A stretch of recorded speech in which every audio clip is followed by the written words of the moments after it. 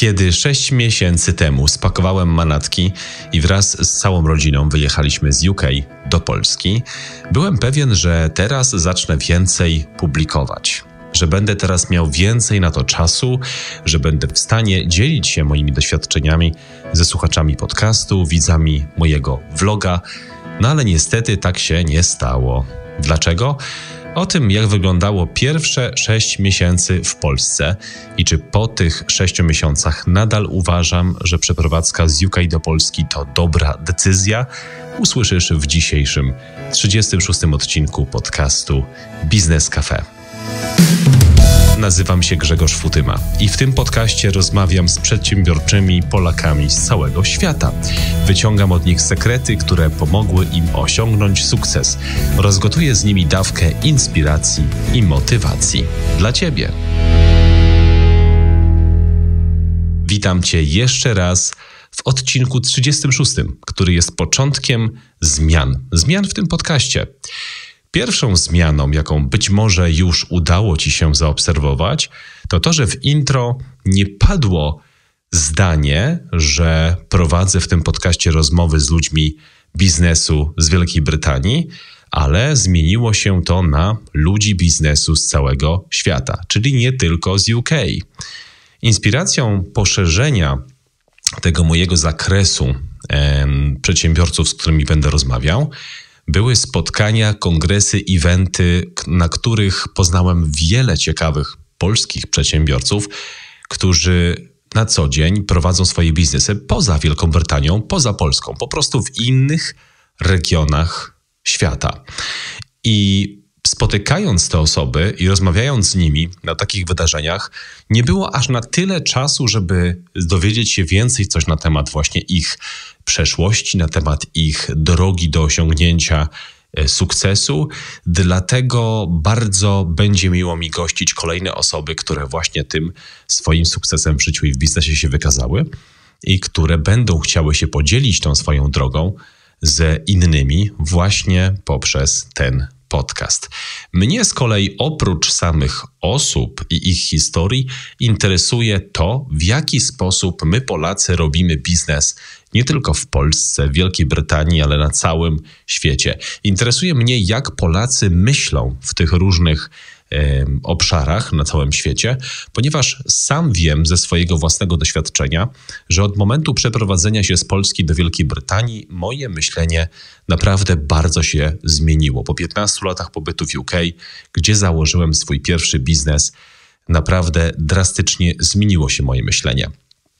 Podejście do życia, podejście do biznesu zmiany. Więc jaka jeszcze zmiana w tym podcaście? Drugą taką techniczną e, zmianą jest nowa strona internetowa.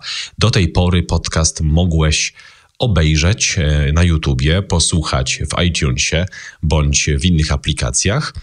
E, ale mogłeś też zajrzeć na stronę biznescafe.uk i tam e, z, był, była lista wszystkich odcinków, były wszystkie notatki, linki do każdego, e, do, profi, do profilów moich gości oraz do innych ciekawych rzeczy. A teraz ten adres zmienił się z biznescafe biznescafe.uk na biznescafe.com. Przechodzimy właśnie worldwide, czyli na cały świat i domena też się zmienia, ale oprócz samej domeny zmieniła się też bardzo strona graficzna tejże strony, także zapraszam Cię już teraz wejdź na biznescafe.com i zobacz, co tam dla Ciebie przygotowałem. A oprócz tego, że możesz na tej stronie bardzo szybko zasubskrybować ten podcast y, w aplikacjach iTunes, Spotify, czy choćby nawet kanał na YouTubie, możesz też dołączyć do naszej społeczności. A co to właściwie znaczy?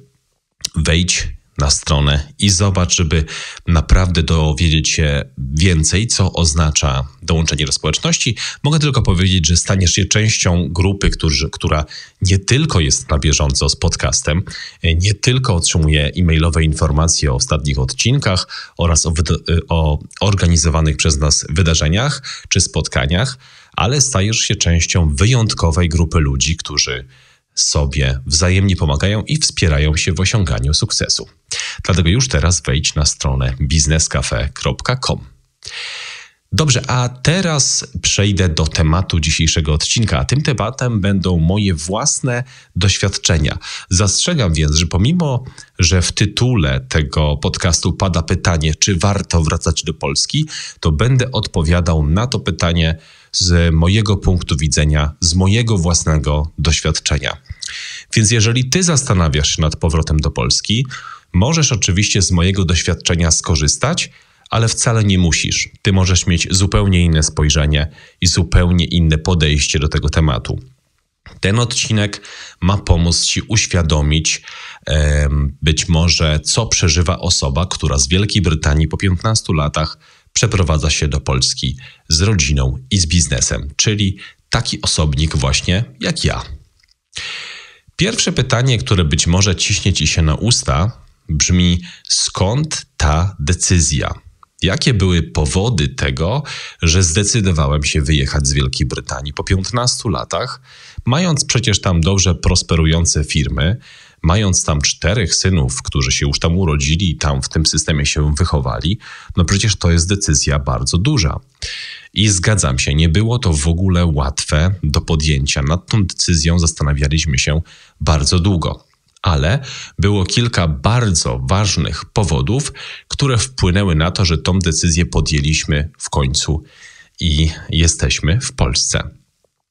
Pierwszą z nich, pierwsza decyzja dotyczyła naszych dzieci. Pierwszy powód to były e, nasze dzieci, a konkretnie e, warunki do nauki. My chcieliśmy naszym dzieciom stworzyć coś, co nazywa się domowym nauczaniem. Chcieliśmy im zapewnić home schooling. Chcieliśmy, żeby nasze dzieci rozwijały się swoim własnym tempem, szły indywidualnym tokiem nauczania i korzystały z najnowocześniejszych rozwiązań nauki przez internet. E, nasze dzieci do tej pory uczęszczały do szkoły brytyjskiej. Najstarszy mój syn, 14-latek obecnie, chodził już do szkoły średniej i trudne było y, to, że trudne było do zaakceptowania to, że on codziennie w autobusie spędzał dwie godziny tylko po to, żeby do szkoły dojechać i przyjechać.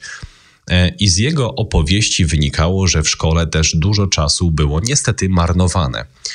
Kolejną rzeczą było to, że tak naprawdę nie wszystkie rzeczy go w tej szkole interesowały, i pomimo tego, że szkoła bardzo duży nacisk stawiała na obecność, to jakby nie szło za tym e, cała reszta, jakby e, zainteresowanie się tym, e, czego syn chciał się uczyć. Tak naprawdę w ostatnim roku na, w tej szkole, w secondary school, e, przedmioty, które wybrał dwa lata wcześniej, że będzie chciał się ich uczyć, i to był taki wybór, e, którego dokonywało się tylko raz w życiu, taki bardzo ważny, wtedy szkoła podkreślała, że to jest bardzo istotna decyzja.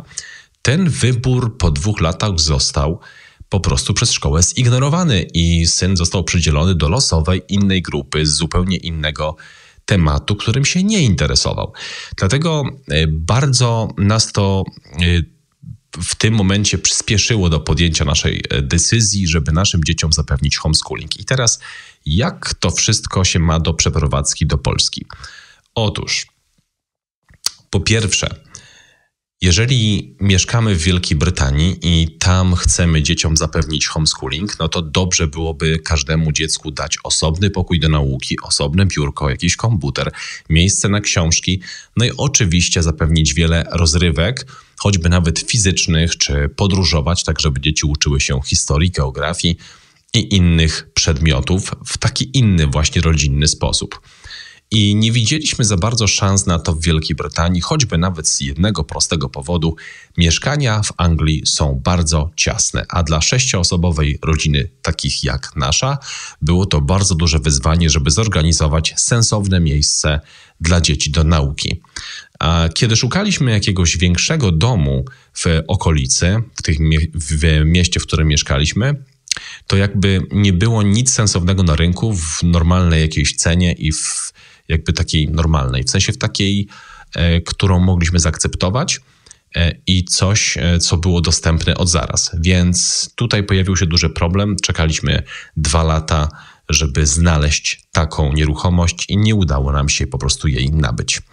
Czasy teraz na nabywanie nieruchomości też nie są akurat najlepsze, więc postanowiliśmy, że być może dobrze byłoby skorzystać z tego polskiego zaplecza, ponieważ w Polsce warunki do mieszkania, warunki do nauki, warunki przestrzeniowe dla rodzin są zdecydowanie inne. Zatem homeschooling, e, większy, większe, lepsze warunki do nauki. Inną rzeczą jest to, że jeżeli zmienialiśmy naszym dzieciom dotychczasową rutynę, czyli już teraz nie będą jeździć do szkoły, nie będą doświadczać tych samych, co ich koledzy, jakby rutyn, to właśnie dobrze byłoby zmienić miejsce zamieszkania, tak żeby ten nowy system nauczania był też w nowym miejscu, żeby odseparować ich od dotychczasowej rutyny. I właśnie tutaj miało sens przeprowadzenie się do innego kraju. No i kolejną rzeczą, to już o której wspomniałem, to właśnie podróżowanie które e, wydawało nam się tutaj, że z Polski to będzie zdecydowanie łatwiejsze niż w Wielkiej Brytanii. Powiedziałem już o tym, że e, chcieliśmy mieć większy dom, większą przestrzeń i był jeszcze taki jeden powód, który bardzo mnie dopingował, ponieważ zapisałem sobie w planie w roku 2017, zrobiłem taki trzyletni plan biznesowy, że do końca 2019 roku będę mieszkał w przestrzennym domu z dużym ogrodem, garażem, osobnym pokojem na gabinet, takim jak ten, i pokojami dla dzieci.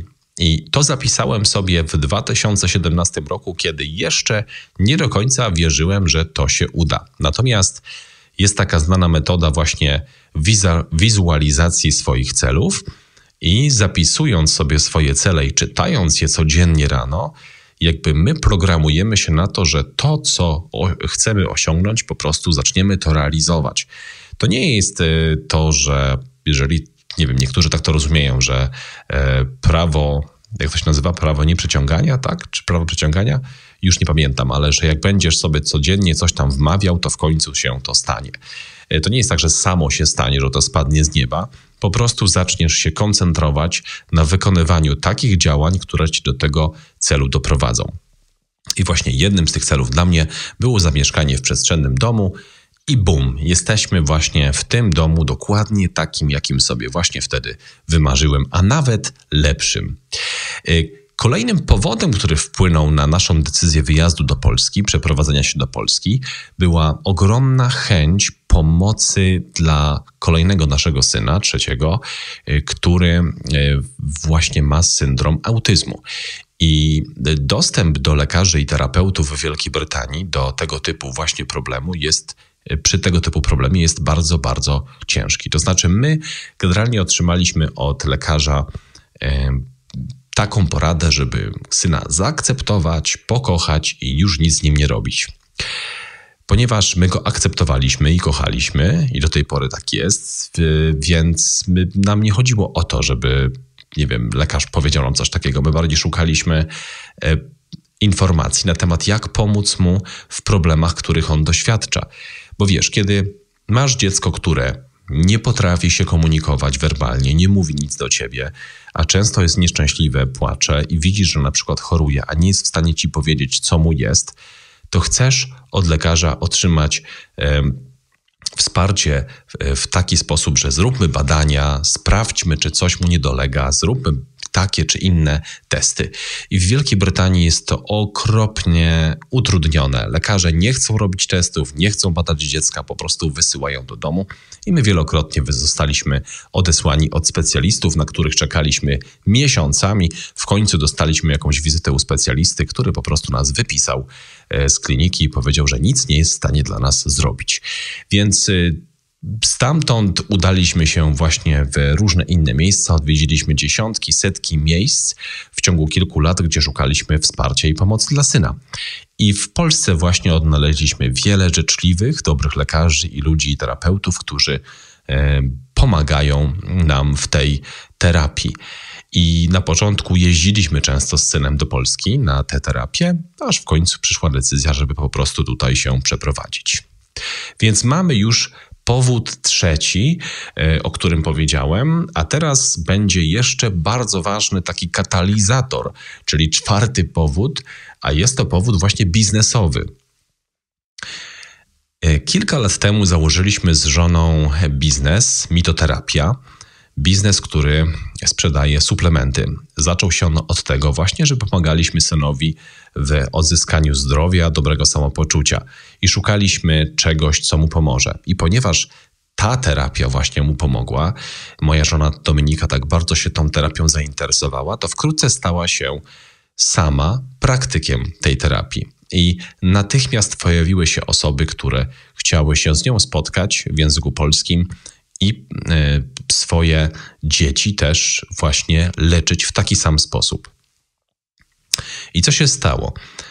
E, my działaliśmy z tą firmą w Wielkiej Brytanii i celowaliśmy w Brytyjczyków, no i w Polaków też, którzy mieszkają w Wielkiej Brytanii. Okazało się, że Brytyjczycy to jest y, no, taki naród, który niekoniecznie bardzo zastanawia się nad tym, nad tym, co się stanie, znaczy jak zadbać o zdrowie, żeby nie zachorować, jak zapobiegać chociażby jakimś e, kryzysom zdrowotnym. Rozmawiałem kilkukrotnie z wieloma Brytyjczykami, którzy bardzo wierzą w NHS, to znaczy właśnie w tych swoich lekarzy, GP. Dla nich to nie jest nic dziwnego, że na każdą dolegliwość otrzymują paracetamol. Oni twierdzą, że po prostu to wszystko ma przejść i ich organizm na tyle jest mocny, że, że sobie poradzi.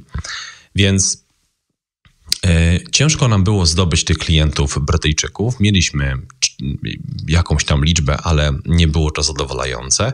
Natomiast jakoś samoistnie Polacy, którzy w Polsce właśnie bardzo dbają o zdrowie, bardzo szukają rozwiązań, są tacy niezależni.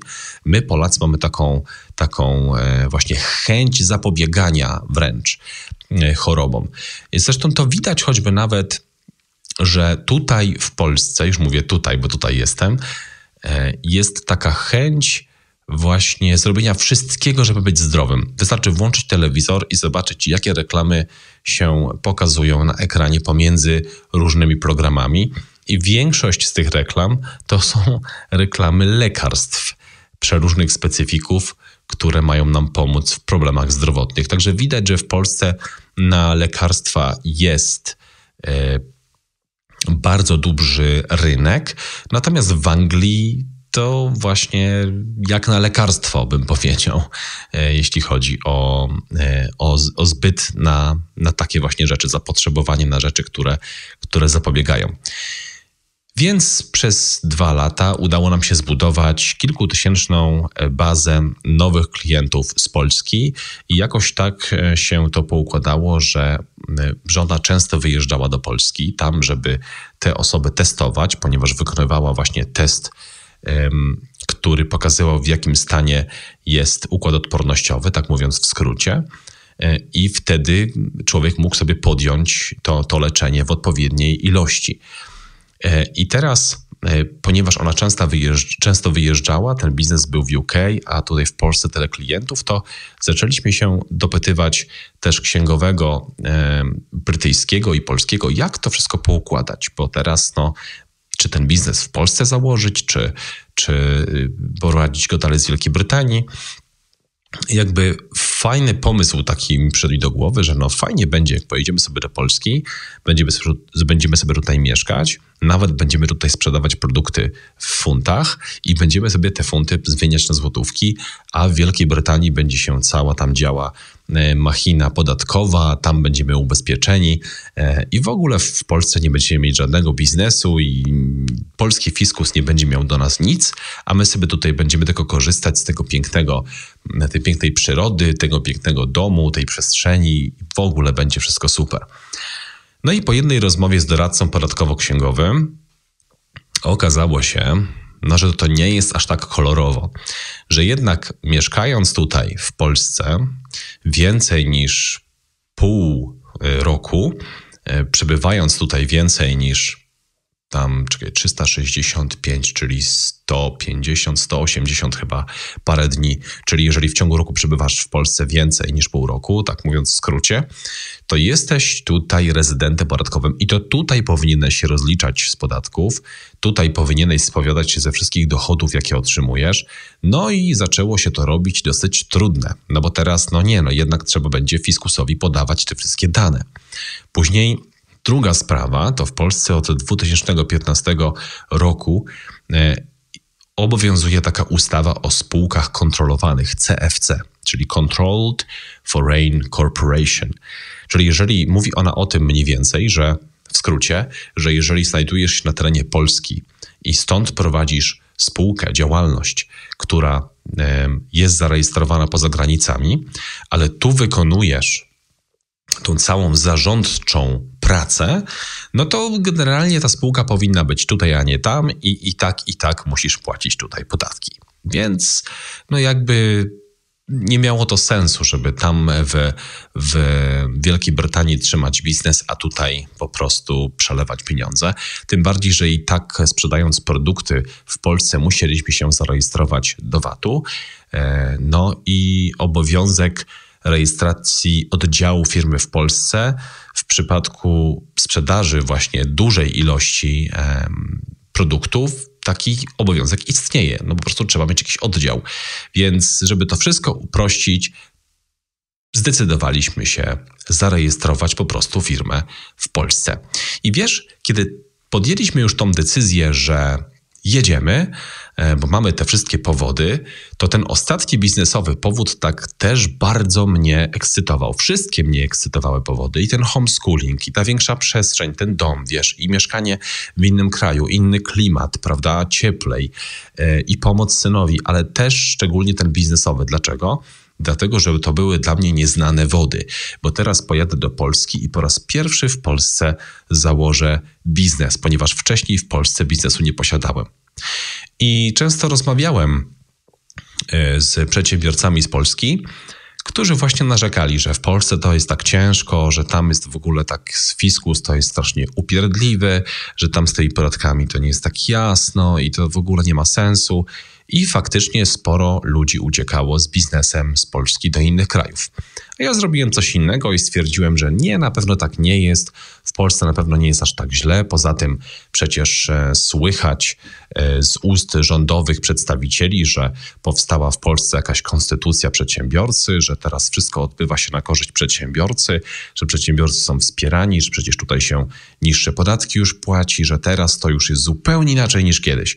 Wszystko przy jednym okienku albo przez internet można robić praktycznie wszystko. Więc stwierdziłem, super. Zebrałem się jeszcze do czytania takiego, e, do lektury takiego takiej strony rządowej biznes.gov.pl. Na tej stronie tam dowiedziałem się, że no faktycznie no ta rejestracja przez internet, wszystko będzie takie proste po kolei, wszystkie te kroki przeczytałem, myślę sobie, no nie, no nie będzie problemu. Jednak, jednak rejestrujemy tą spółkę w Polsce, spółkę z ograniczoną odpowiedzialnością. I nawet obiecałem, że jak przyjadę do Polski, to będę nagrywał podcasty, będę publikował vlogi właśnie na ten temat. Mało z tego, nawet sobie dołożyłem taki projekt, że będę prowadził vloga przez 100 dni, e, pierwszych 100 dni z Polski. No i jaka była rzeczywistość? No, chciałem to zrobić. Natomiast pierwszy miesiąc tak naprawdę upłynął mi na ogarnięciu domu, rozpakowaniu się i przygotowaniu dzieciom tych wszystkich po kolei pokojów, tych łóżek, wiesz, tego skręcania tego wszystkiego jest, tych mebli, wypakowania, zdecydowania. Y, poza tym byliśmy zmęczeni tą całą przeprowadzką, więc e, ciężko mi było w ogóle nawet internetu nie mieliśmy przez pierwsze tygodnie, w ogóle trzeba było go dopiero założyć. Więc ciężko było w ogóle się zdecydować na nagrywanie jakichś vlogów i jeszcze potem obrabianie tego wieczorem, kiedy myśmy do tam nieraz pierwszej w nocy po prostu pracowali tutaj przy wykańczaniu tego wszystkiego i jeszcze wysyłaniu tego w internet, kiedy nie masz internetu. Więc stwierdziłem, dobra, okej, okay, sierpień, bo w sierpniu przyjechaliśmy, zostawiam to na wrzesień. I tak minął sierpień. We wrześniu postanowiliśmy po prostu odpocząć, bo stwierdziliśmy, że no tak dużo ta przeprowadzka nas energii kosztowała, że należy nam się po prostu odpoczynek. Była piękna pogoda, nasze dzieci pięknie bawiły się w dużym ogrodzie, my mogliśmy w końcu zaprosić gości i poświętować. I tak wyglądał, tak nam minął wrzesień też. Oczywiście dużo porządkowaliśmy i myśleliśmy o tym, jak tą firmę będziemy za chwileczkę zakładać już w październiku.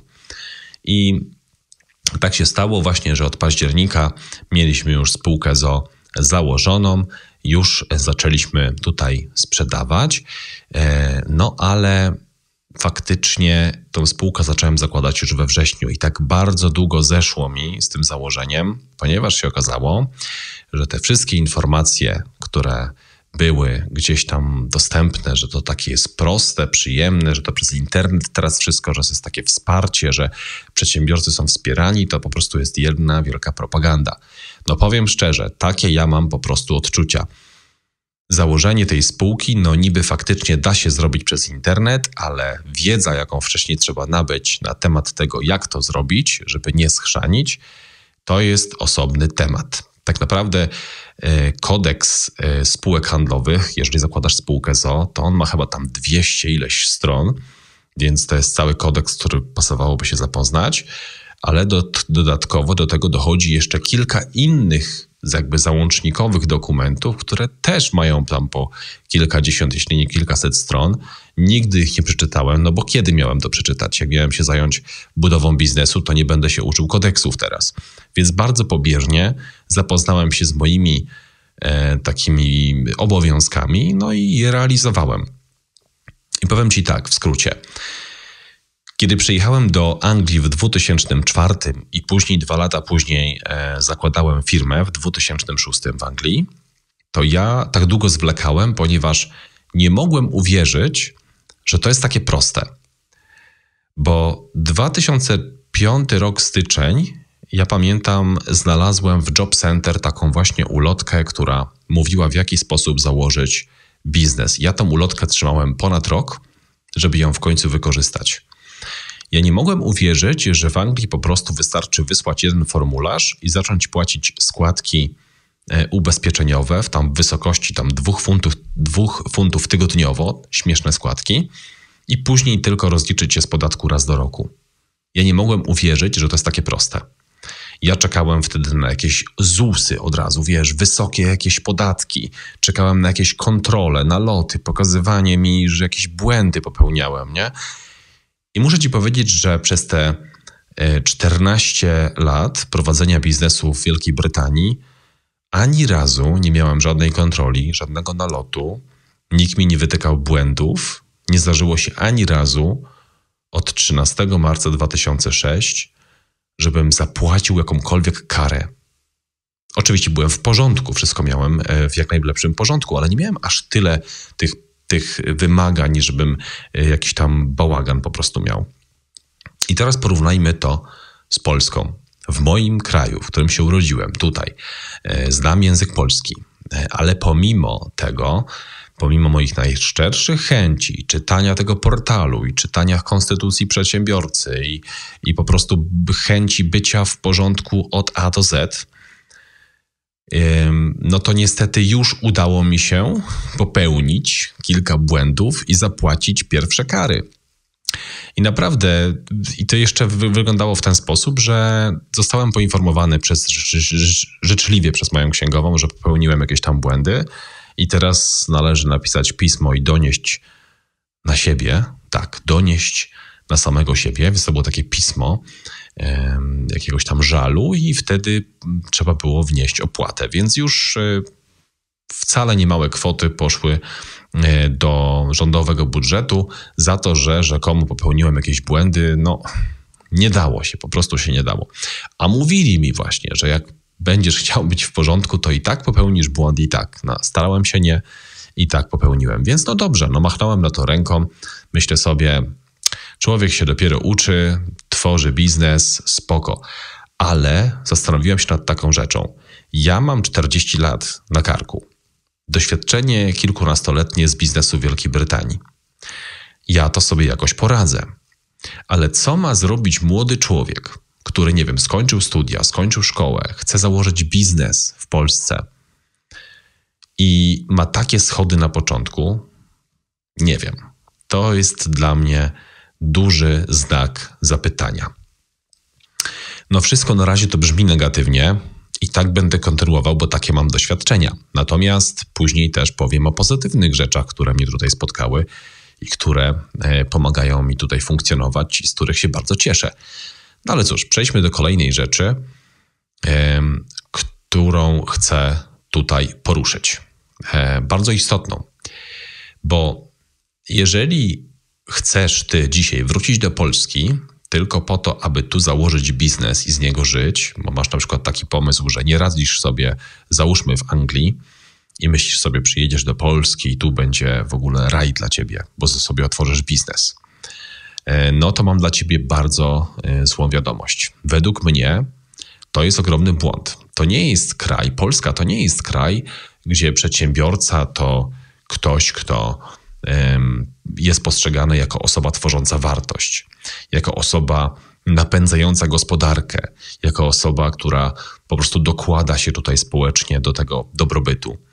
Raczej jest zupełnie odwrotnie i przedsiębiorca jest postrzegany jako ktoś, kto oszukuje, kogo trzeba ścigać, ponieważ on tam chce na wszystkich zarobić i ze wszystkich zedrzeć. No przepraszam, ale tak to właśnie tutaj wygląda. E, dam Ci przykład. Mój własny. Otrzymałem formularz pewnego dnia, i to było chyba jakieś 4 tygodnie temu w marcu, czyli po wrzesień, październik, listopad, grudzień, styczeń, luty, marzec, pół roku. Minęło pół roku prowadzenia działalności i otrzymuję e, z Generalnego Urzędu Statystycznego list z żądaniem, uwaga, nie z prośbą, zapytaniem, z żądaniem. Żądamy od Pana wypełnienia załączonych formularzy, wpisania tam danych. No i okazuje się, że tam są jakieś cztery strony z tabelek, w których jest wiele pojęć, których w ogóle nie znam, nie mam zielonego pojęcia, co one znaczą. To trzeba być jakimś wyedukowanym, dobrym księgowym, żeby w ogóle wiedzieć, co to znaczy. I po prostu patrzę na to i mówię, no ja przecież ja tego nie wypełnię, to nie ma szans. Więc myślę sobie, hej, no wiem, że tutaj żądają, ale no chyba to zleję, no po co będę to wypełniał? Przecież, przecież to są tylko dane statystyczne. No ale czytam dalej. Okazuje się, że hmm, powołują się na taką ustawę o statystyce publicznej, w której jest zapis, że jeżeli nie, zdo, nie zrobisz w żądanym terminie tego, o co cię proszą, czy nie wyślesz im tych wszystkich danych, no to grozi ci grzywna. Ok? Um, jeśli nie zrobisz tego w terminie. Jeśli tego w ogóle nie zrobisz, to też grozi ci grzywna. Ale jeśli się pomylisz, podasz jakąś nieprawdę, coś tam źle wpiszesz, no to grozi ci nawet więzienie do dwóch lat. No więc ja tak patrzę sobie na ten list i myślę sobie, no po prostu można paść. Ze śmiechu, czy nie wiem z czego, z żalu. No jaki to jest kraj, gdzie przedsiębiorców traktuje się w ten sposób, że zbieramy statystyki i jeżeli się nie wyspowiadasz tutaj i masz to wszystko zrobić dobrze, nieważne, czy się na tym znasz, czy nie, nas to nie interesuje, masz to wszystko zrobić dobrze. Bo jak nie, to cię wsadzimy za kraty. No, sorry, ale ja się tutaj dobrze nie czuję z takim traktowaniem. Więc to jest kolejna rzecz, która po prostu powoduje, że w Polsce naprawdę e, nie jest miło być przedsiębiorcą. To jest po prostu rzecz, e, która też promieniuje na to, w jaki sposób później ludzie się wzajemnie traktują a ludzie traktują się właśnie często jak złodzieje. Choćby nawet ostatnio otrzymałem e-maila e, od dostawcy mojego internetu spowodowanego tym, że e, nie zapłaciłem faktury, bo przyszedł e-mail windykacja.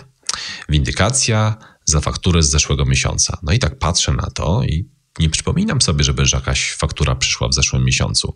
I faktycznie nie przyszła. Po prostu nie wysłali nam żadnej faktury do zapłaty. E, więc okej. Okay. Natomiast oni stwierdzili, że za, dobrym pomysłem będzie zamiast zadzwonić do klienta, czy zapytać się na przykład, co się stało, że, że dlaczego wpłaty nie ma w tym miesiącu, e, to stwierdzili, że dobrym pomysłem będzie po prostu wysłać od razu windykację i dołożyć karę. Więc no, też takie dalekie od y, cywilizowanego świata podejście, moim zdaniem, do biznesu. Ja robię w ten sposób, że jeżeli ktoś mi nie zapłacił, e, no to najpierw zakładam, że po pierwsze, mógł nie otrzymać maila z fakturą, e, bądź mógł o tym po prostu zapomnieć. Zdarza się. Więc pierwszą rzeczą jest wysłanie miłego e-maila z przypomnieniem. Po prostu. Gdybym dostał takiego maila, przypominamy, że faktura była wysłana, ale pan nie zapłacił, to by się wyjaśniło, bo bym zaraz zadzwonił i powiedział, że no przepraszam, ale nie otrzymałem od was tego dokumentu. Natomiast tutaj, nie po raz pierwszy zresztą, y, ludzie traktują się bardzo w taki sposób, że klient to jest ktoś, kto ma mi po prostu przynieść pieniądze w zębach i to wszystko. Więc to jest bardzo słaby punkt polskich firm. E, innym takim, takim przy, przypadkiem, który mi się zdarzył, przykładem, e, było biuro księgowe, w którym robiłem księgowość, e, który wysłał mi maila mniej więcej o takiej treści. Cytuję z pamięci. W związku z rozwojem naszej firmy i zwiększenia zakresu obowiązków, dla każdego klienta, który nie wyrobi się w terminie do 6 danego miesiąca z przysłaniem kompletu dokumentów, będziemy zmuszeni dodać 20% więcej ceny za usługę. No i teraz czytasz sobie takiego maila i myślisz sobie, czy ja jestem aż takim złym klientem, że oni mnie nie chcą? No przecież mamy dobre obroty, płacimy im na czas i wcale nie mało. Hmm, zastanawiające. Natomiast właśnie tutaj jest, jest też pewien wniosek dla osób, które w Polsce chcą biznes założyć. Kochani, skupcie się na tym, żeby robić, nie szukać jakichś nowych pomysłów, robić te same rzeczy co inni, te same usługi, tylko za, za, zastanówcie się nad tym, co zrobić, żeby wasza obsługa klienta była na bardzo wysokim poziomie. Bo tutaj firmy, które będą mieć bardzo wysoki poziom obsługi, wygrywają. Ja, jeżeli mam wysoki, e, wysoką jakość obsługi, jeżeli ktoś odbierze ode mnie telefon, miło ze mną porozmawia, wyjaśnimy sobie wszystko, to jest dla mnie firma, która wygrywa. Ja jestem w stanie zapłacić tej firmie więcej, ale ja chcę mieć święty spokój i nie chcę się stresować, denerwować czy wysyłać dziesiątki maili z wyjaśnieniem, że jednak e-mail do mnie nie doszedł, ale kontrahent i tak twierdzi, że e-mail był wysłany, tylko na pewno był w spamie. No, Właśnie. I tutaj też jest jeszcze jedna taka rzecz, że przedsiębiorcy często niestety tutaj zrzucają winę na swoich klientów. No i może dlatego tutaj e, tak to wszystko wygląda, że e, wszyscy są pod pewną presją, zarówno od góry, e, i nie traktują się z takim szacunkiem, więc tego mi brakuje. Ja nie mówię, że w innych krajach jest wspaniale i pięknie, nie mówię, że w Wielkiej Brytanii ludzie traktują się zawsze super, natomiast procentowo mi się wydaje, że tutaj 80-20 to jest właśnie ta odwrotność, czyli, czyli w Polsce jest gorzej niż lepiej. Zatem już pewnie wiesz, że ten mój początkowy optymizm, entuzjazm do przyjazdu, do działania, do takiego pozytywnego otwierania firmy, no szybko po prostu wygasł. I, I, nie dziw się, bo ja od października zająłem się w firmie zamiast jej rozwojem, budowaniem, to wypełnianiem dokumentów, papierków, wypełnianiem obowiązków, odbieraniem ciągle telefonów gdzieś tam od księgowych i spowiadaniem się z kolejnych rzeczy i trochę to było męczące. Dodatkowo jeszcze moja żona wyjeżdżała tam co e, kilka dni, więc wtedy miałem czas z dziećmi, więc jakby poza tą pracą e, w papierkach, w obowiązkach, w finansach, niewiele zostało mi czasu już na moje jakieś zainteresowania, tym bardziej na tworzenie treści do internetu, choćby nawet właśnie takiego dzisiejszego, e, dzisiejszego podcastu nagranie. I em, chyba musiała przyjść ta epidemia, bo nagrywam ten y, odcinek w kwietniu 2020, żebym znalazł czas i spokój na nagranie y, tego odcinka i do powrócenia do pracy przy starych projektach. No, paradoksalnie, jakiś plus tej całej sytuacji w moim życiu, y, można powiedzieć, zaistniał tej epidemii. Zatem co teraz możesz powiedzieć? No bo opowiedziałem ci tych wszystkich negatywnych rzeczach, że tutaj się mi takie rzeczy wydarzyły w firmie i w ogóle. E, czy warto było wracać do Polski, czy nie? No, sześć miesięcy minęło, więc jakieś już wnioski powinienem wyciągnąć z tego, prawda? może powinienem już wrócić do Wielkiej Brytanii, bo tu jest tak bardzo źle. Otóż powiem teraz o kilku właśnie dobrych rzeczach, ogromnych plusach, które tutaj mam. Oczywiście potwierdziło się to, że mieszkanie w dużym domu z przestrzenią, z osobnymi pokojami dla moich dzieci, z osobnym pokojem, biurem do nagrywania choćby podcastów czy zapraszania e, klientów, gości jest wspaniałe. E, wspaniałe jest mieć większą przestrzeń naokoło domu. Ogród z każdej strony, od południowej, północnej, wschodniej, zachodniej. Nie tak jak w Anglii, że wybiera się z ogródkiem na daną część e, na daną stronę świata i tyle. Potem się już z nim zostaje i albo jest super, albo jest tragedia, bo jest cień zimno, albo jest słońce i jest super. Więc tutaj jakby jest ten większy wybór, większa swoboda. Człowiek nad pewnymi rzeczami się nie zastanawia. E, nie ma tutaj na pewno takiego, no przynajmniej tutaj, gdzie ja mieszkam. I tutaj mówię o domu, który wynajmuje za podobne pieniądze jak w dom Wielkiej Brytanii, a jednak po prostu ta swoboda i ten komfort jest zdecydowanie większy. Jest też komfort do swobodnego spacerowania, poruszania się, bo w Anglii pamiętam wyjechać gdzieś i po prostu się przejść, no to musisz jechać albo do jakiegoś national park, albo musisz na jakąś ścieżkę specjalną dla turystów, tam jest przeważnie też zatłoczone. Jeżeli gdzieś tam wjeżdżasz, to też e, są często jakieś opłaty, być może ciężko zaparkować, więc to wszystko jest takie zorganizowane, co też jest oczywiście fajne. Natomiast nie bardzo możesz po prostu sobie zjechać z drogi i gdzieś po prostu pójść w las. Zresztą lasów w Anglii jak na lekarstwo, jak już z kawałek lasu, to już jest park w ogóle i on jest właśnie ogrodzony i zorganizowany. Tutaj sporo dzikości jeszcze zostało. Można pójść przejście po lesie, można pójść przejście po jakichś mniej zatłoczonych drogach. Można po prostu czasami wejść sobie gdzieś w jakimś, jakimś pole i gdzieś pójść jakąś ścieżką e, i nikt się do ciebie gdzieś tam nie przyczepi. A pamiętam taką historię mieliśmy z Anglii właśnie kiedyś pojechaliśmy z dziećmi, z żoną do e, Peak District i tam no, jeździliśmy cały dzień, patrzyliśmy na te piękne widoki i w pewnym momencie e, przejeżdżaliśmy między dwoma miejscowościami dosyć długą trasę i dzieci były tak już bardzo głodne, że musieliśmy do tej następnej miejscowości po prostu stanąć i coś kupić. Ponieważ nie było to duże miasto, tylko mała mieścina, to tam jedyna jakaś jedna restauracja była z pizzą, co mogliśmy po prostu wziąć na wynos, dlatego że tam też w środku nie było dużo miejsca, więc wzięliśmy po prostu dwa pudełka pizzy do samochodu i jedziemy. I szukamy miejsca, gdzie będziemy mogli to sobie spokojnie zjeść. E, myślałem, że może w samochodzie staniemy, no ale nadarzyła się taka okazja z pięknym widokiem na góry, że boczna droga i kawałek takiej zatoczki, takiej łączki więc rozłożyliśmy kocyk, otworzyliśmy pizzę, no i zabieramy się za konsumowanie. I podjeżdża do nas drogą pani na koniu, bardzo ładnie ubrana, ale niestety z miną taką nabadana w dół. E, no i wtedy ja pomyślałem sobie, że spróbuję jej poprawić humor, no bo skoro jedzie taka bardzo zasmucona, więc uśmiechnąłem, uśmiechnąłem się do niej i mówię e, Hello, how are you?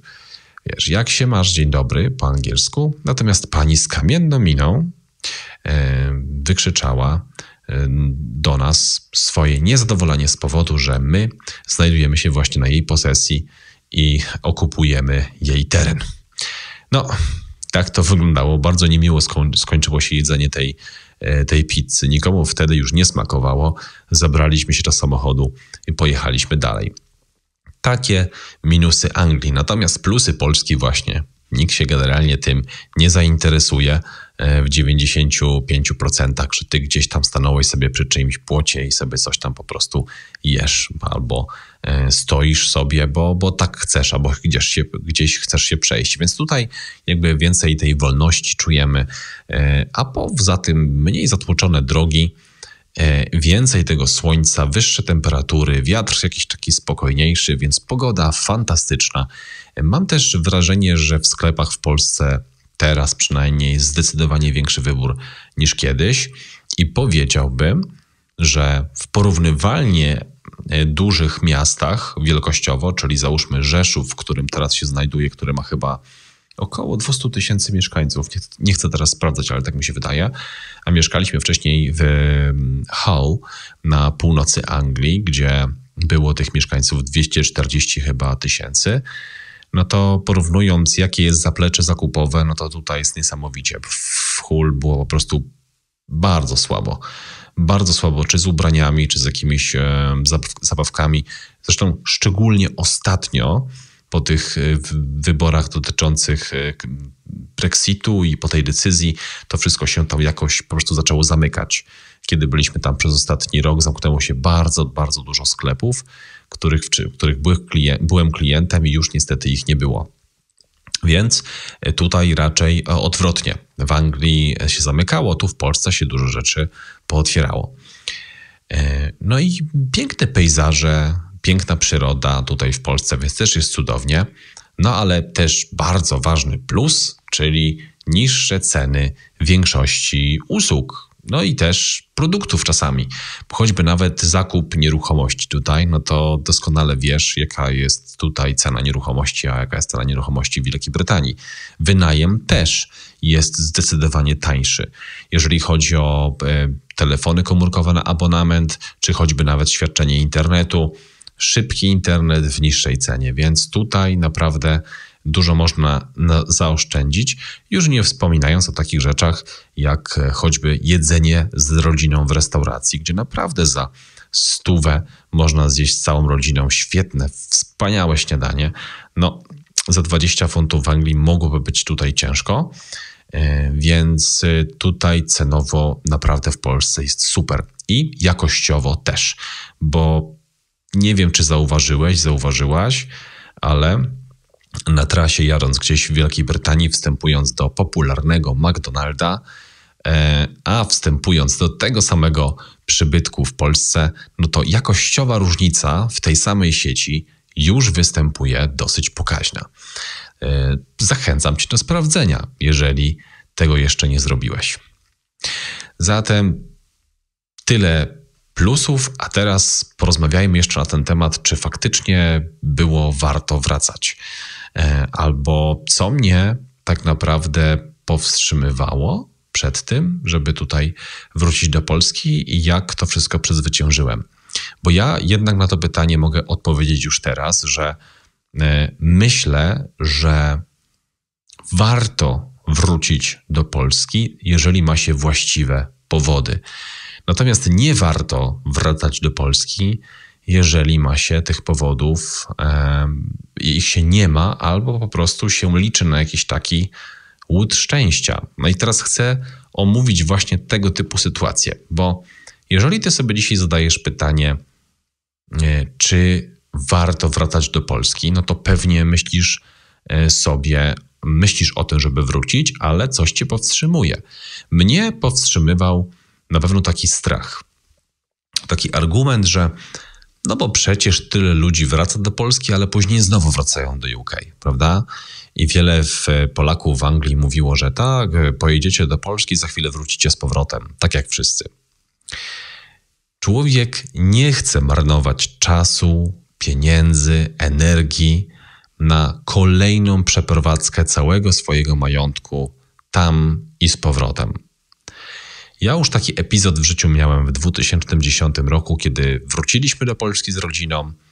Prowadziliśmy biznes przez internet, finanse nie były problemem, pracy nie musieliśmy tutaj w Polsce szukać, po prostu sobie tutaj wynajmowaliśmy dom i mieszkaliśmy.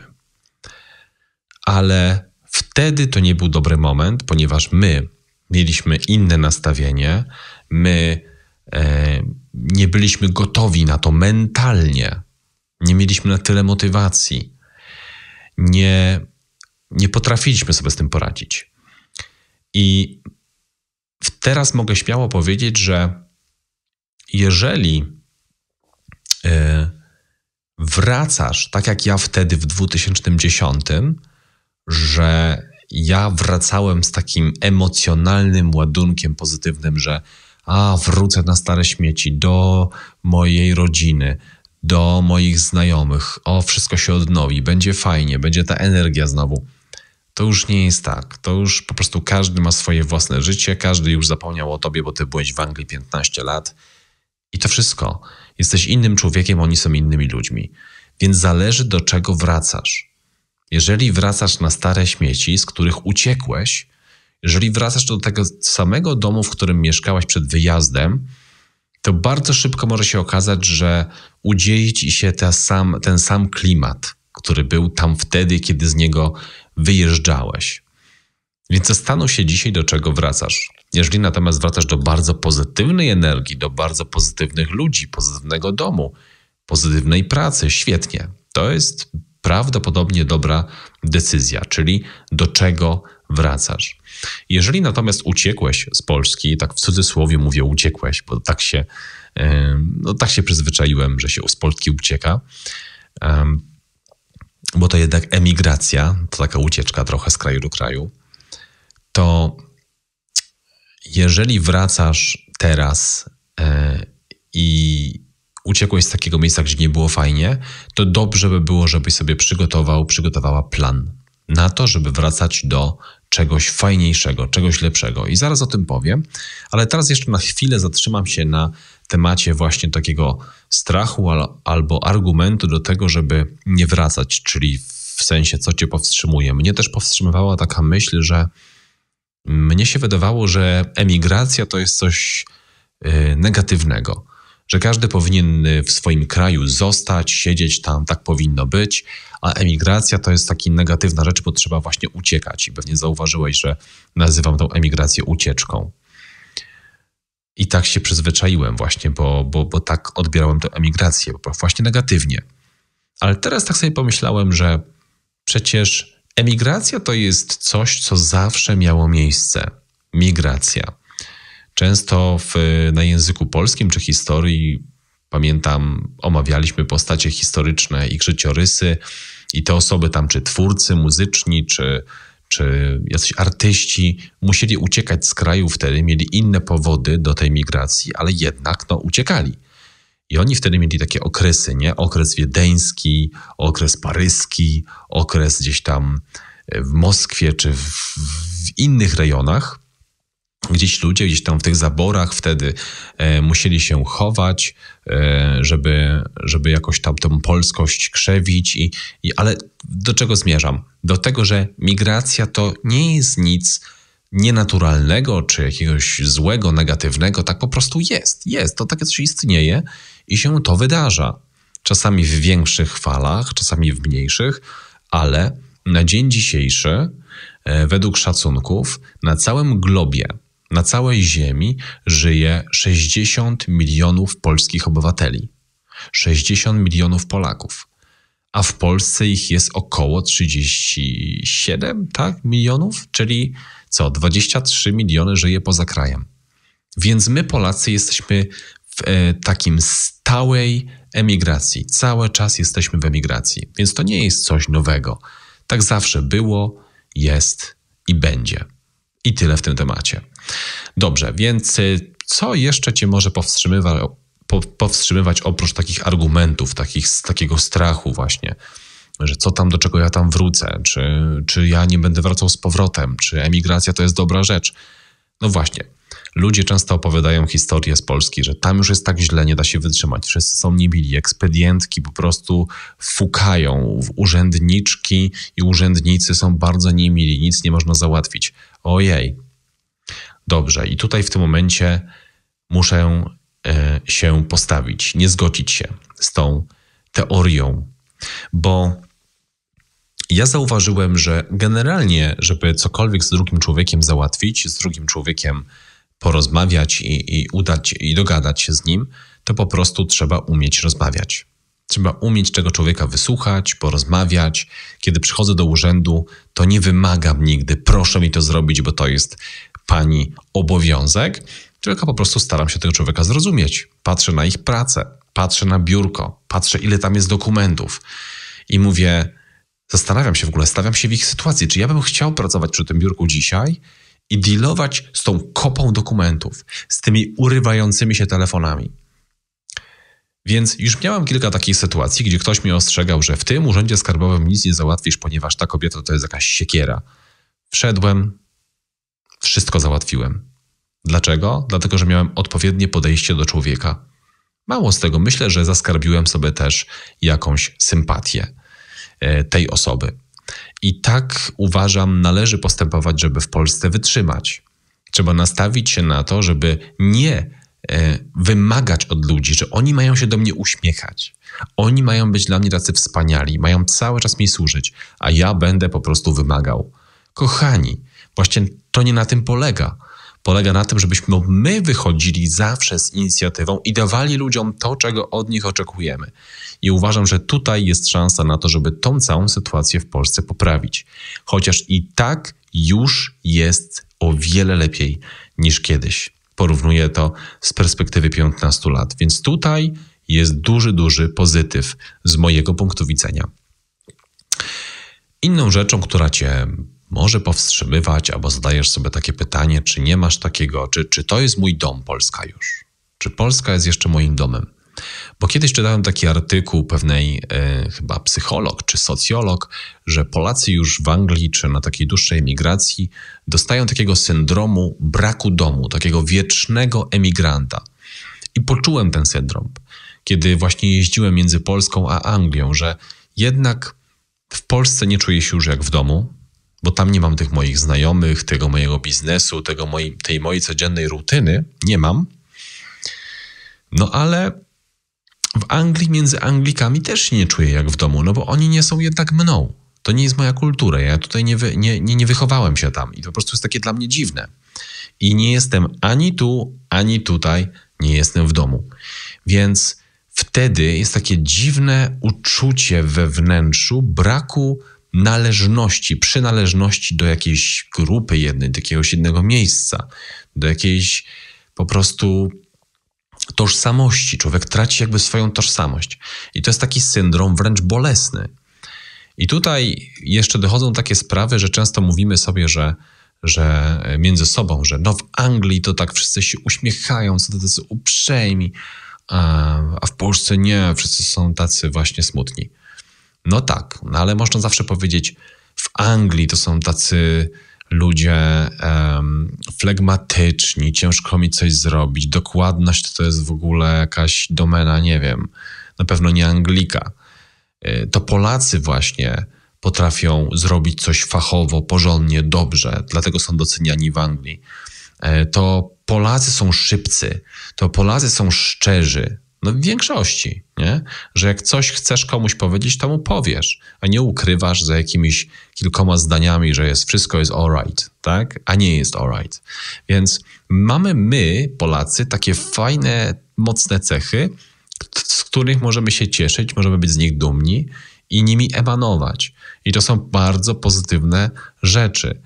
E, w Anglii też są fajne rzeczy, ale też są te gorsze rzeczy, więc nie ma idealnego miejsca na Ziemi, gdzie będziemy czuć się w domu i zawsze zadowoleni. Nie ma takiego miejsca. Zawsze będą jakieś tam minusy czegoś. Zatem, e, podsumowując, syndrom braku domu można rozwiązać poprzez pracę też nad sobą i nad swoim własnym podejściem i odnalezienia tych, tych fajnych cech i być może też może też zrobić takie sobie po prostu ćwiczenie, żeby nie chcieć mieć jakiegoś takiego miejsca, gdzie, gdzie, gdzie jest twój dom na stałe. Może po prostu jesteś obywatelem planety Ziemia i możesz być pół obywatelem, powiedzmy, Wielkiej Brytanii czy Polski. Czy to masz takie duże znaczenie? Dlaczego mamy się po prostu aż tak dzielić, nie? To jest, to jest ciekawe też pytanie, na które można sobie różnorako odpowiedzieć. Nawiasem mówiąc, niedługo na ten temat będę rozmawiał też z osobą, która właśnie twierdzi, e, w, pewnie w kolejnym odcinku podcastu, która właśnie twierdzi, że, że nie warto przywiązywać się do jednego miejsca. Zatem, na co się przygotować? Jakie są jeszcze takie minusy albo może szokujące rzeczy po przyjeździe do Polski? Pamiętaj, że przyjeżdżając do Polski, e, zaczynasz funkcjonować w innym systemie, choćby nawet systemie komunikacji na drodze. Będziesz jechać samochodem i zobaczysz, że nagle tak jak w Wielkiej Brytanii wszyscy jechali sznureczkiem z maksymalnie dozwoloną prędkością. Wyprzedzanie to w ogóle było chyba o jakiś Polak chyba jedzie, bo wyprzedza. E, tak mniej więcej to wyglądało. To tutaj w Polsce kultura jazdy na drodze to jest zupełnie coś innego. Ja po prostu w pierwszym miesiącu pojechałem do sklepu e, z mediami i kupiłem kamerę przód, tył do samochodu zamontowałem, żeby być pewnym, że mam jakiś dokument w razie czego, gdyby ktoś e, no, uszkodził mój samochód, czy po prostu spowodował wypadek, w którym brałbym, nie daj Boże, udział. Więc tutaj e, jest, jest ciężko mi to określić, ale kierowcy po prostu e, lubią zajeżdżać sobie drogę, wyprzedzać się w miejscach, gdzie nie powinni się wyprzedzać, bo nie ma miejsca, wymuszać to, żeby hamować, i to jest powodowanie wielu, wielu niebezpiecznych sytuacji na drodze, czegoś, czego w Anglii praktycznie nie zauważyłem. Tego po prostu tam nie ma. Inną rzeczą, jeśli chodzi o komunikację, to są też inne przepisy drogowe, trochę. No bo na przykład skrzyżowania, gdzie są zielone strzałki, gdzie są e, zielone światła, ale jednak warunkowe, jeżeli skręcasz, ponieważ piesi mają też zielone. Ty masz zielone i piesi mają zielone, więc pierwsze miesiące to jest takie przypominanie sobie, że wjeżdżam i co? Ludzie idą, o co chodzi, nie? Więc tutaj trzeba się do tego przyzwyczaić znowu. No i do tego, że te przepisy w Polsce się ciągle zmieniają i trzeba je śledzić. Ostatnio w, w, w lutym 2, 2020 wprowadzono kolejną zmianę do kodeksu drogowego i kierowcy tutaj muszą teraz zatrzymywać się przed pasami, jeżeli pieszy e, gdzieś tam przy pasach się pojawi i prawdopodobnie chce przejść. Trzeba się po prostu przed pasami zatrzymać. Tak jak to się dzieje w Anglii. I można powiedzieć, bardzo szczytny pomysł. No fajnie, w Anglii tak to jest realizowane i to działa, i wszyscy są uprzejmi, to zróbmy to tutaj. Dobrze, zgadzam się. Ale zobaczmy, jak w Anglii to związane jest, e, te, gdzie te pasy są. Przecież one nigdy nie są, jeżeli jest jakaś podwójna jezdnia z, pod, z dwoma pasami w jednym kierunku. Tu nie ma czegoś takiego, że tam są pasy bez świateł e, w Anglii. W Anglii, jeżeli masz e, te pasy z tymi lizakami mrugającymi, to one są w mieście i to daleko od skrzyżowania, a nie przy skrzyżowaniu. Przy skrzyżowaniu są zawsze pasy ze światłami. I tutaj jest naprawdę różnie w Polsce. Tutaj jest naprawdę różnie i te przepisy sobie trzeba interpretować do danej sytuacji po prostu i uważać. Bardzo, bardzo uważać. Mieć, jak to mówią, oczy naokoło głowy. Parkowanie też to jest zupełnie inny temat. Myślałem, że w UK jest e, nieciekawie. Okazuje się, że e, w Polsce jest naprawdę czasami śmiesznie, ale też irytujące, kiedy jest duży parking, a wszyscy chcą zaparkować przy samych drzwiach wejściowych do sklepu i parkują w niedozwolonych miejscach zapaskowanych, nawet tych zarezerwowanych, żeby tam nie parkować, to tam właśnie często stoją samochody i zasłaniają tych ludzi, którzy wychodzą ze sklepu i ty wjeżdżając na parking możesz właśnie kogoś potrącić. Więc no, taki apel, jeżeli ktoś słucha, no naprawdę to nie jest dobry pomysł i są miejsca na parkingu, kawałek można podejść, nic się nikomu nie stanie. No ale ta mentalność właśnie taka w Polsce jest. Ja mam stać najbliżej, jestem bardzo ważny i będę tutaj zajmował miejsce czołowe. No w Anglii tutaj, jak wiemy, nikt w kolejce się tam za bardzo nie ustawia, nie wpycha, każdy po prostu czeka na swoją kolej, wie, że nikt go w konia nie zrobi, nie wepcha się po prostu, bo jest ta kultura. No i, i na co się jeszcze możesz przygotować, jeżeli mówimy już o przepisach, mówimy już o przepisach, to, to te przepisy często są po prostu niemożliwe do zrozumienia. Ostatnio wesz, wszedł taki przepis o y, bazie, bazie danych odpadowych, czyli odpady firmowe. Jeśli masz firmę, musisz zarejestrować się prawdopodobnie do bazy danych odpadowych i tam wytłumaczyć się, jakiego typu odpady, jak często, w jakiej ilości będziesz oddawał do utylizacji. No i nawet ten formularz na tej stronie mm, polecam, sprawdź, jeżeli chcesz. Baza danych odpadowych wpisz w Google i, i zobacz, jak wygląda formularz, albo nawet jak wygląda test, żeby sprawdzić, czy ty podlegasz temu prawu, czy nie. No po prostu zrozumienie tych wszystkich tam wyjaśnień, tych wszystkich opisów wymaga naprawdę ogromnej koncentracji, a w sumie tak czy tak na koniec dnia indywidualna interpretacja bierze górę. O czym to mówię? O czym ja właściwie mówię? O tym, że e, ty zinterpretujesz przepisy tak, jak będziesz uważał że, i twierdził, że to, co przeczytałeś, to znaczy właśnie to, ale urzędnik czy urząd skarbowy może sobie na przykład zinterpretować to po swojemu, nie na Twoją korzyść i nie będziesz miał racji. No ale mało z tego. Jeden urząd skarbowy czy jeden urząd w jakimś danym mieście może ten sam przepis zinterpretować inaczej niż inny taki sam urząd w innym mieście. I w Polsce istnieje właśnie taka niestety praktyka, że, że w różnych miastach mogą funkcjonować różne interpretacje i w różny sposób mogą być traktowani ludzie, którzy robią dokładnie to samo. Więc to jest po prostu rzecz, która, której trzeba się nauczyć um, z nią żyć, nauczyć się ją akceptować, to znaczy choćbyś nawet wierzył, święci był przekonany, że wszystko masz super i jesteś zgodny z prawem i, i, i, jesteś pewien, że wszystko robisz dobrze, to i tak nie bądź pewien, bo i tak można coś na ciebie zawsze gdzieś tam znaleźć. Więc to są e, takie rzeczy, na które warto się przygotować, i mówię to po to, żebyś wiedział, że te rzeczy się prawdopodobnie nie zmienią tutaj, tak jak te parkowanie, czy przepisy, czy kultura na drodze, te, te przepisy nowe wprowadzane, zrozumienie tych przepisów, to ja za każdym razem, kiedy widzę nowe przepisy, nawet się, tego się nie chce czytać. To jest, to jest bardzo, bardzo e, trudne do zrozumienia. Dla inteligentnego człowieka, już nie mówię w ogóle o, człowie, o człowieku, który, który gdzieś tam nie ma edukacji nawet podstawowej, dobrej i, i nie potrafi w ogóle czytać takich rzeczy. To jak on ma to zrozumieć, nie wiem. Um, zatem w co się wyposażyć? W co ja się wyposażyłem, zanim tu przyjechałem yy, tym razem, żeby się właśnie spełniło to, że pomimo tych wszystkich takich gorszych rzeczy, trudności, to czuję się tutaj dobrze, bezpiecznie e, i, i, i, nie chcę stąd wyjeżdżać. Wręcz przeciwnie, chcę tu zostać, bo, bo tutaj jest bardzo dużo, dużo plusów. W co się wyposażyłem? Pierwsza rzecz, wyposażyłem się na początek w oszczędności. To jest bardzo ważna sprawa. Zmieniasz otoczenie, zmieniasz kraj, zmieniasz świat, zmieniasz pracę, być może zmieniasz biznes.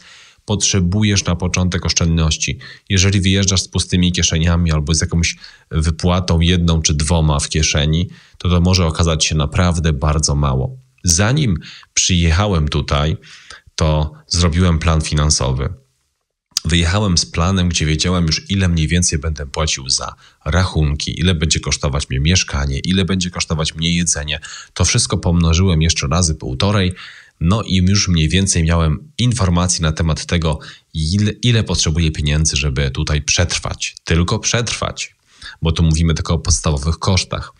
Natomiast jeżeli chcemy się rozwijać, no to pasuje dodać do tego jeszcze te dodatkowe wydatki. I dlatego potrzebny jest plan finansowy, żeby wiedzieć, ile nas życie będzie kosztować i czy my jesteśmy w stanie w Polsce, czy pracując na etacie, czy też zakładając biznes, utrzymać ten nasz styl życia. Żebyśmy nie liczyli na łód szczęścia, że pojedziemy i jakoś to będzie. Pojedziemy i być może coś dostaniemy, albo jakoś nie wiem, spadnie nam z nieba i, i będzie dobrze. Nie, nie ma czegoś takiego. Plan finansowy, oszczędności to są rzeczy, które musisz mieć na początek. No i jeszcze jedna taka rzecz, która mi przychodzi na myśl, o którą trzeba naprawdę zadbać, to jest właśnie motywacja. Żeby przyjechać z, taką, takim pozytywnym nastawieniem, owszem, tak, ale ty z tym twoim pozytywnym nastawieniem możesz zderzyć się ze ścianą takiego hejtu nawet, czy takiej niechęci od innych ludzi. Ty chcesz być miły, oni nie chcą tego nawet. Więc trzeba być zmotywowanym żeby pomimo tego dalej sobie tutaj radzić, dalej mieć ten sam poziom zaangażowania, dalej chcieć tu być, dalej chcieć pracować, pomagać innym ludziom. I tutaj przydaje się właśnie wsparcie ludzi pozytywnych. Jeżeli ty jesteś sam, sama tu przyjeżdżasz, nie masz ludzi wokół siebie, nie masz przyjaciół, nie masz ludzi, którzy będą cię wspierać w trudnych momentach, to jesteś, mi się wydaje, w jednym z najgorszych, e, w najgorszej sytuacji. Po prostu tu trzeba mieć jakieś wsparcie, choćby nawet, tak jak ja, nie mam tutaj może lokalnie jakiejś ogromnej, dużej ludzi, którzy, y, grupę ludzi, która, która mnie wspiera, ale mam osoby, które już poznałem w Wielkiej Brytanii, mam osoby, które poznałem w innych krajach i spotykamy się online. Regularnie rozmawiamy sobie, pomagamy sobie nawzajem i właśnie też y, tego typu wsparcie y, dla przedsiębiorców i nie tylko oferujemy w naszym Business Cafe klubie do którego Cię również zapraszam. Więc jeżeli wybierasz się nawet na taką przygodę do Polski, tak jak ja to zrobiłem, to być może właśnie, a raczej na pewno, wsparcie takiej grupy jak Business Cafe, jak społeczność Business Cafe, to jest coś, e, co jest wręcz e, pożądane, wskazane. Więc e, to tyle w tym odcinku i chciałbym zaprosić Cię już na kolejny odcinek, który ukaże się wkrótce. Będę rozmawiał, a właśnie nie powiem z kim, ale na tematy mieszkania w różnych krajach e, na świecie, na temat bycia obywatelem kilku krajów jednocześnie, na temat homeschoolingu znowu, czyli uczenia dzieci z domu i wzbudzania w nich kreatywności. To już wkrótce. A jeżeli ty chcesz otrzymać opowiadomienie ode mnie e-mail o kolejnym odcinku, e, koniecznie zasubskrybuj ten podcast w jednej z aplikacji, w której lubisz słuchać podcasty, iTunes, Spotify czy innej. Możesz także zasubskrybować kanał YouTube'a. Te wszystkie przyciski znajdziesz na stronie businesscafe.com. Tam też możesz bardzo łatwo dołączyć do naszej społeczności i otrzymywać powiadomienia o naszych wydarzeniach offline'owych i online'owych. Serdecznie dziękuję Ci za e, pozostanie do końca tego odcinka i do zobaczenia, do usłyszenia już wkrótce. Cześć.